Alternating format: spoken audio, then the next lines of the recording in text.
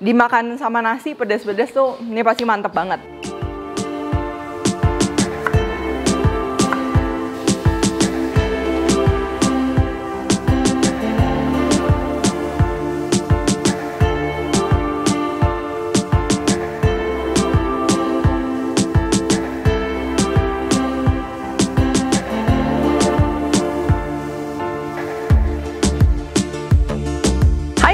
Buku keduaku sudah terbit ya. Kalian bisa dapatkan secara online atau di toko buku seluruh Indonesia. Jangan sampai kehabisan.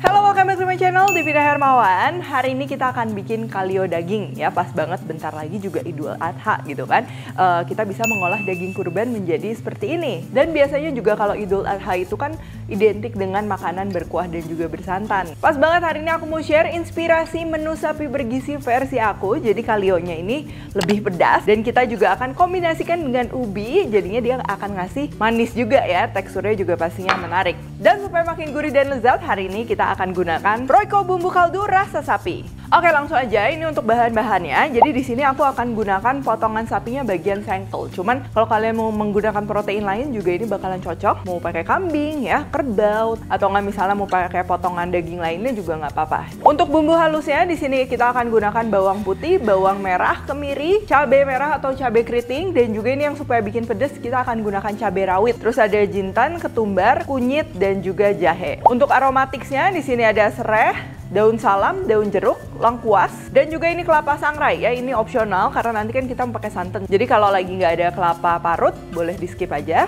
Untuk rempah-rempahnya ada cengkeh, kapulaga, kayu manis, dan juga bunga lawang. Nah tapi kalau misalnya lagi nggak ada stok rempah-rempah, ini di skip aja nggak apa-apa ya. Nanti kita bikinnya saleh kalionya mungkin lebih kayak Sundanis gitu ya. Itu bakalan tetap enak. Lalu ada santan dan juga air untuk ungkepan. Dan untuk pelengkapnya kita akan gunakan ubi ya. Ubi ini termasuk ke 50 pangan masa depan karena pastinya bernutrisi dan juga baik untuk kesehatan. Selain menjadi sumber karbohidrat, ubi juga mengandung banyak serat dan juga mikronutrien lainnya seperti vitamin dan juga mineral. Pastinya kita juga udah familiar dong untuk hidup yang seimbang. Nah, mikronutrien itu juga penting banget buat mendukung pola hidup sehat kita ya.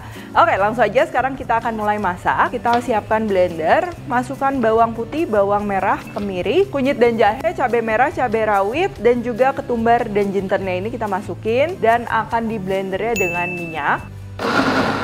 Kalau misalnya seret juga nggak apa-apa, ini boleh ditambahin air ya, karena ini kan bumbu dasarnya cukup banyak juga. Nah, kalau udah seperti ini, ini bumbu halusnya kita akan masak dulu, tumis dulu sampai dia keluarin minyak, baru kita masukin bahan lainnya ya.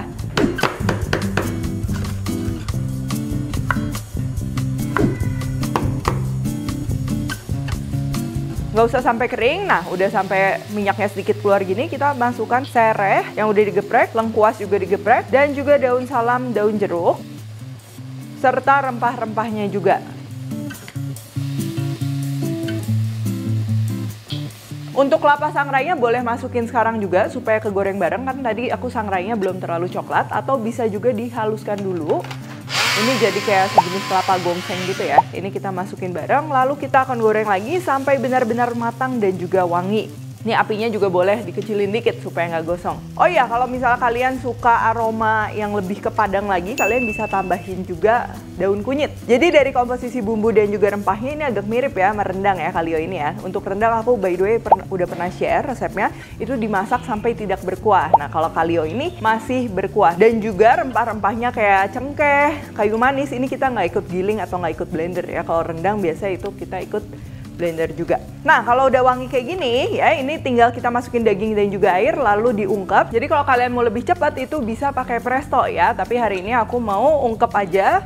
Dan pertama ini kita akan masak dulu di api besar ya. Kita akan bumbuin sekarang supaya nanti uh, dagingnya juga rasanya meresap. Kita akan kasih garam, merica, dan pastinya supaya makin gurih dan lezat kita akan gunakan Royco kaldu rasa sapi yang dibuat dengan daging sapi yang direbus lama dan dilengkapi dengan garam beriodium sehingga membuat masakan jadi lebih lezat. Nah kalau udah benar-benar mendidih kayak gini, ini biasa kan kalau kita ngungkep daging tuh kan lama, jadi mau ditinggal. Nah kalau kalau kita ninggal itu harus selalu di apinya api sedang kecil ya karena takut gosong. Jadi kalau di api sedang ini biasanya 90 menit sampai 120 menit itu udah bakalan cukup empuk. Tapi kalau kalian di api yang lebih besar bisa lebih cepet lagi ya empuknya ya, bisa satu jaman gitu udah empuk. Nah lalu untuk ubinya, sekarang ini kita akan kupas. Lalu kita akan potong-potong aja untuk ukurannya ini mirip-mirip sama ukuran daging. Terus kalau udah ini aku mau goreng dulu supaya nanti dia ngebentuk kulit ya jadinya nggak hancur juga. Cuman kalau kalian mau langsung cemplung juga sebenarnya nggak apa-apa sih.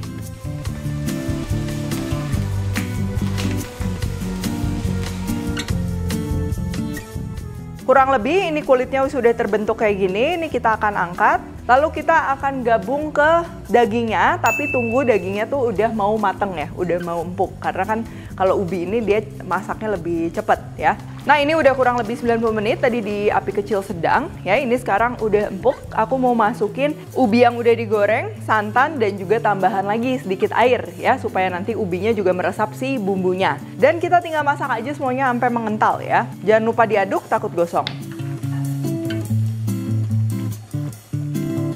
Nah ini udah agak mengental gini juga kalian bisa cobain. Nah ini opsional, aku mau tambah sedikit gula ya buat ngebalance dari rasa asin, gurih, dan pastinya juga pedas. Sedikit aja, cuman kalau kalian nggak suka itu bisa di skip aja ya. Lagian ini ubinya juga dia udah manis, jadi gulanya juga jangan kebanyakan.